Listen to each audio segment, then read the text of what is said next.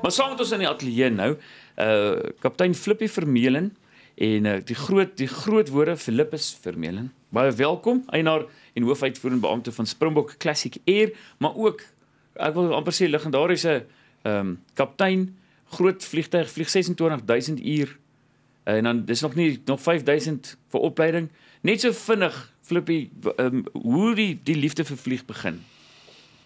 Uh ag solank as wat ek kan onthou wou ek vlieg, maar ek dink die die eerste keer wat as ek dit so mag stel wat my liefde vir vlieg gedokumenteer was, mm. as ek so mag stel, is ek kom uit die Wes-Transvaal van 'n plekkie met die naam van Gerdou. Mm. En ons het geen blootstelling aan vliegtye en sulke goeie gehad nie. Maar as as jongste van 8 kinders het een van my ouer broers Andries wat om by 6 jaar ouer is, ek het my nou die dag vertel dat hy kan onthou toe ek so 6 en 'n half jaar oud was, het daar 'n 'n DC4. Mm. Onthou nou, dis nou om by 1954. So daar 'n DC4 oor die plaas gevlieg. En dit het vir hom gesê, daai. Ek gaan daai vliegtyg eendag vlieg. Mm. Wow. En as ou nou 'n gedagte hou dat daai vliegtyg was eintlik in in sy twilight. Hulle was besig om hulle uit te faseer. Mm. Maar ek het toe op die ou met die politieke isolasie so aan daai vliegtyg baie langer in bedryf gebly in die lugmag. Mm. En ek het toe omdat ek so liefde vir ou vliegtye het, het ek in die laat 80 80er en vroeë 90er jare het ek my baie beywer om hulle te red mm. en te mm. bewaar. En ek het toe uh hier in die 90er jare letterlik daai DC4s begin kommersieel aanwend binne in Israel as die Suid-Afrikaanse lugdiens historiese vlug. Is dit nou waar daai die ding nee, van die SA historic flight? Dis presies waar dit So dit gaan oor die ou vliegtye wat aanhou gehou gebruik is. Absoluut. Ah. Wow. En nou hier in 2000 ongelukkig het ek 'n politieke slagoffer gewe geword mm. en toe ek uitgeskop uit die ding wat ek vir 12 jaar bedryf het is man. Mm. En dit was my baie traumaties aanvanklik en toe sien my familie vir my nou nadat my luister ons het soveel kundigheid ontwikkel hoekom begin ons nie ons eie besigheid nie. Mm. En so het ons in 2001 met ou vliegtye begin. Mm. En dis hoe Springbok Classic hier op die been gekom het. Maar wat ek graag vir julle wil vertel met die liefde vir vlieg en hoe dit toe nou ontwikkel het en hoe hy nou 'n hele draai geloop het. In 2003 toe vlieg ek 'n DC4 nou in my eie maatskappy Springbok Classic hier eendag van van uh Johannesburg internasionale lughawe of Katutu. Mm. En my dogter is die medevlieënier toe, Petro. Sjoe. En uh die roete wat ons Katutu vlieg, neem ons toe reg oor die armoedige ou klein plaasie waar ons groot geword het. Toe ek en Petrus so oor die die uh venster kyk van die vliegtuig, sien ons maar hier is nou letterlik 60 jaar later. Ja, waar daai vliegtuig raak vlieg self. Vlieg ons in die hmm. kanse was 3 uit 6 dat dit dieselfde vliegtuig was wat die dag daaroor gevlieg het. Dis ongelooflik. Maar ja. hoe lekker is dit dit uh, hoeveel van die kinders is ook betrokke? My ander kinders is my my oudste seun is uh, intender ek wil dit graag noem. Uh is hy al 'n is deel van ons DNA mm. vir my en my gesin. Mm. Uh ek het 42 jaar daar spandeer van 'n ouderdom van 21 jaar af. My oudste seun was 'n 'n vakman by by SAL gewees en hy's nou deel van ons besigheid by, by Springbok Aviation Services in die onderhoudskant. Mm. My dogter is 'n senior eerste offisier op die Airbus 340 en die 330. En dan my jongste seun is 'n kaptein by Mango. So ongelooflik dat die hele familie een droom op 'n plaas almal se saamvat. Maar ek moet sê, ek het nooit my kinders gedruk vir 'n beroep in lugvaart nie. Mm. Hulle hulle intene my dogter het 'n prokureur geword eers en my jongste seun was 'n meganiese ingenieur en hulle toe later van tyd het hulle self besluit om ook in die lugvaartbedryf in te gaan. Ja, ek is kwaad vir my pa want hy het altyd as hy my gevoer het treintjie treintjie treintjie. Het gesê vliegtuig vliegtuig.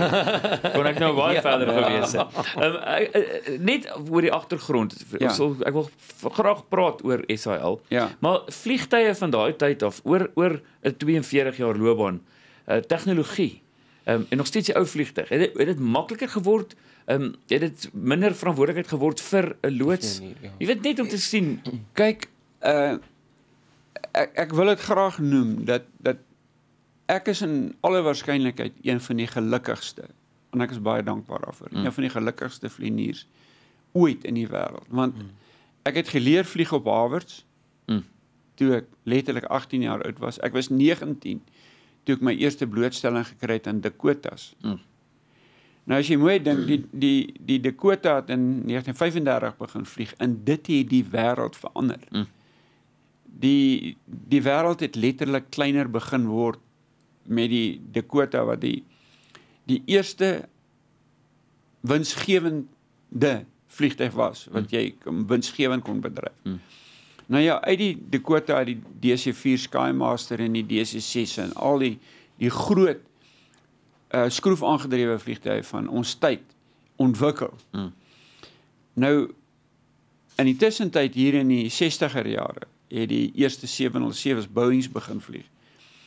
En ek het die wonderlike geleentheid gehad in my loopbaan dat ek van die DC3 af DC4, DC6 het ek vlieg en ek vlieg hulle nou nou nog. Mm. Hoor jy? En aan die ander kant het ek die hele jet era beleef. Mm. Van die hele straler era van die 707 727 737 en die 747 al die mm. modelle. En dan was ek een van die van die eerste vlieëniers in die wêreld eintlik. Ek was in in die eerste generasie vlieëniers wat uh, Airbus is gaan vlieg. Sjoe. So ek is in 1991 as ek oor is die eerste span van SAL wat die kursus in Toulouse in Frankryk gaan doen het vir die mm. Airbus. Ek het op die ou ene afgetree op uh op die Airbus 340. Mm. Nou dis waar ons nou kom by SAL want dit is ja. interessant as dit vinnig daar gesels want dit laat my altyd wonder ek het hierdie ding van as uh, en ons noem dit nou as 'n Kulula kan geld maak hoekom kon SAL nie geld maak en dit is eintlik 'n geweldig interessante storie kyk dit dis 'n bietjie van 'n lang storie maar dit dit is eintlik 'n baie belangrike storie wat baie min vertel word. Mm. En om dit goed te verduidelik moet 'n mens teruggaan in die geskiedenis van SAL is in 1934 begin. En nou 3 jaar later in 1937.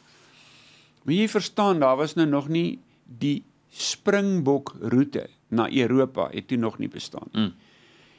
Maar daar was 'n groot behoefte want onthou nou, Suid-Afrika was histories en enkeltereel baie nou gekoppel aan die Britse eilande aan hmm. aan Engeland of ons nou daarvan hou of nie dit was 'n lewensfeit hmm.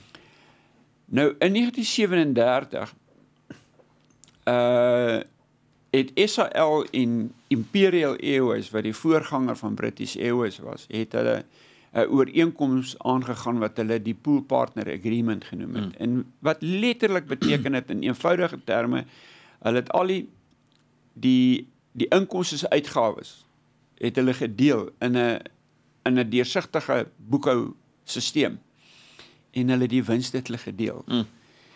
En van 1937 af tot so om en by hier 2007, dalk 'n bietjie vroeër, as ek nie heeltemal verseker van my feit nie, maar kom ons sê vir 70 jaar, by mm. byna 70 jaar, het die het die roete tussen Londen en Suid-Afrika ontwikkel in die rykste roete in die wêreld. Sjoe. Die rykste roete in die wêreld. Dieselfde tyd het SAL uh van 1954 af 'n roete ontwikkel mm. na na Frankfurt mm. wat baie winsgewend geword het ook. En ons het van die uh 70er jare Amerika toe FSA toe mm. begin bedryf. Maar veral hier in die 90er jare met die 747-400s het ons die Atlanta vlug ontwikkel, die Atlanta roete wat ook ontwikkel het in een van die rykste roetes ter wêreld. Mm. En toe kom iemand in sy wysheid hier in die vroeë 2000 en hulle besluit dis nou tyd dat Suid-Afrikaanse lugdiens moet by die Star Alliance aansluit wat glo my 'n absolute doodskoot vir SAL was. Mm. Want wat die posisie was en vandag nog is is dat as jy kyk na die Star Alliance, die Star Alliance is eintlik mm. Lufthansa. En Lufthansa is eintlik die Star Alliance. Mm. En hulle is boelies. En wat het nou gebeur het die Star Alliance het SAL die wêreld beloof. Maar die die die implikasie van die Star Alliance was ons moes die pool partner ooreenkoms hmm. wat ons met British Airways op daai stadium gehad het, moes ons opsê. Hmm. En okay. sien iemand ek het ons het so daar sekondes ja. nog, maar nou ek kan sommer sien wat as jy ja. as jy Kulula vlieg, as jy kan jy vlieg jy ook British Airways. Dis dis die lang in die kort vennootskap. Nou as ek net vir jou sê, as jy as jy vandag vergelyk, ons moes die Atlante roete opgee omdat ons die Star Alliance aangesluit het. En so het ons op die ou end vandag opgeëindig in 'n in 'n posisie want met die Star Alliance wat hulle ons die hele wêreld beloof het, hmm. het het SAL al sy bemarkingskantore ter wêreld toegemaak. Toegemaak.